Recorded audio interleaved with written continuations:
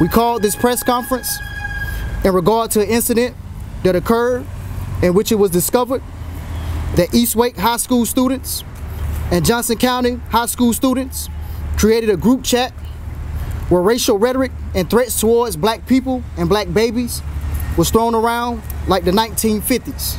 It's extremely egregious and troubling that the language of killing black babies and shooting black people from students is not taken seriously from school administration. On the 25th of September, I was notified by my classmate that there was a racist group chat and I would be highly offended. I took pictures of the group chat and things I saw at this time. The next day, on the 26th of September, I was informed that the group chat was getting worse. I then pondered upon different ways that I could gain access to the group chat to see firsthand what was being talked about. Due to this being a white-only group chat, I changed my avatar on Snapchat to a white female. I was very disturbed and asked my parents to please come up and notify the school. I believed in my school to take the right actions toward this, but it was evident that they did not. This situation has definitely hurt me and opened my eyes to a lot of things, but it hasn't broke me or made me develop any kinds of hatred towards Caucasians. September 26, Cenayia gained access to the group chat.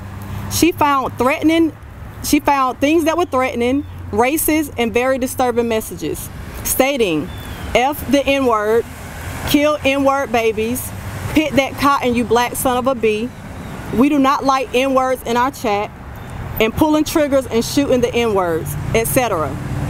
September 26, the racist terms increased, and once questioned by Cenayia and a couple of other students about being racist, the response back was a penguin holding a gun stating, shut up the N-word.